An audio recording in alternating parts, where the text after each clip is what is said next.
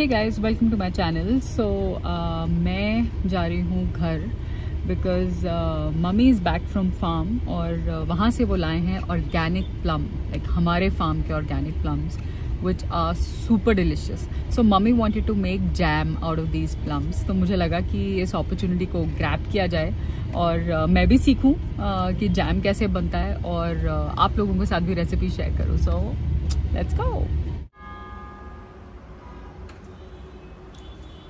Hello मामा ready हो आप हमें प्लम का जैम सिखाने के लिए? हाँ बिल्कुल। लेट्स गो तो ये है हमारे organic plums fresh from our farm so शुरू करते हैं। अब हम जैम बनाना। अच्छा मम्मी अब हमारा फ़र्स्ट स्टेप क्या है?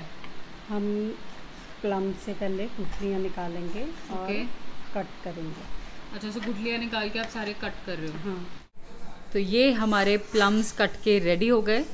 अब हम इनको किचन में लेके चलते हैं। अब इस हांडी में हम सारे प्लम डालेंगे। मम्मी अब अब क्या करेंगे हम? अब हम इसमें शुगर ऐड करते हैं कितनी शुगर डाली आपने?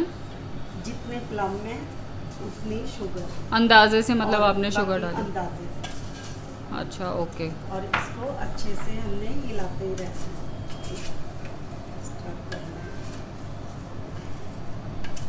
अब इसको हमने हिलाते रहना। कब तक हिलाना है? जब तक दोनों चीनी और प्लम मेल्ट ना हो जाए। अच्छा। चीनी मेल्ट हो जाएगी और प्लम में वो अच्छे से मतलब घुल जाएगा। हाँ। अच्छा ठीक है। बीच बीच में हिलाना है मतलब। हाँ। ओके। अच्छा अब मम्मा? अब देखो ये सॉफ्ट हो गया आपस में मिक्स हो रही है ओके। तो अभी हमने मतलब इसको हिलाते रहना हाँ। हिलाते रहना ओके। ध्यान रखना। अब हमारा ये प्लम जैम बन चुका है। अब हम दालचीनी वाली स्टिक निकाल देंगे। अच्छा अब आप ये सिनेमन स्टिक निकाल दोगे। हम्म, वाओ जैम इसको हम अब इसमें पलट देते हैं। Wow wow that's a plum jam और अब टाइम है टेस्टिंग का. सो so गाइज़ ये थी हमारी प्लम जैम की recipe it was super simple फटाफट जैम बन गया. और now it's time for tasting अब अच्छा मम्मी, अब टेस्ट करा दो. हम्म बहुत ही ज़्यादा टेस्टी है यमी सुपर सिंपल मम्मी बचपन की याद आ गई जब मम्मी हर फ्रूट का मैं जैम हाँ, बनाती हर फ्रूट का जैम बनाते थे हमारे लिए तो वो बचपन की याद आ गई।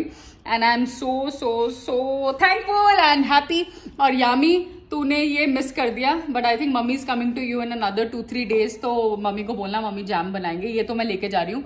Super super tasty so thank you guys for watching this vlog and आप ये रेसिपी ज़रूर ट्राई करना। और बताना हमें कि हम आपको कैसी लगी हमें तो बहुत मज़ा आया and let us know bye mummy bye कर दो. Bye.